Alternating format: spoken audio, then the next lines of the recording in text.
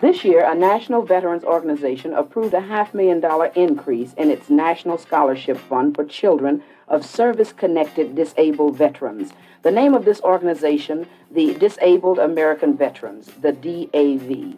And my name is Della Reese. While we're on the subject, let me add that this DAV National Scholarship Fund program is really doing a bang up job in higher educational assistance.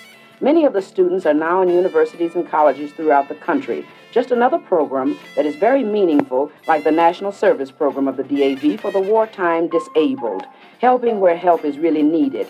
You want some help? Then write DAV, Washington, D.C. That address again for the Disabled American Veterans, DAV, Washington, D.C. For some time, disabled Vietnam veterans have been shortchanged on job opportunities. I'm William Conrad, and I want to tell you just one of the reasons this situation exists. There's been a lot of emphasis placed upon the drug problem, quote unquote, overemphasized in most instances, used as an excuse, a crutch, by some employers reluctant to hire veterans. Now, this is unfair. And let me tell you something more. Straight facts.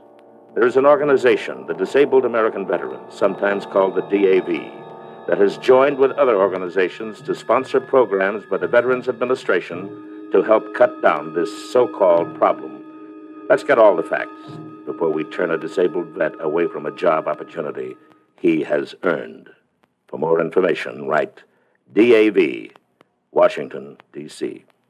DAV, Washington, by the Honorable Rufus Wilson, Associate Deputy Administrator of the Veterans Administration. This nation does not have to bow its head, imperfect though it is, to any other nation anywhere on the face of the earth when it comes to veterans benefits because this nation is by far the best, and it's by far the best because of organizations like the DAV.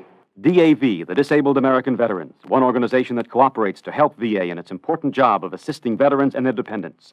Do you know of a disabled veteran in need of help? Write DAV, Washington, D.C.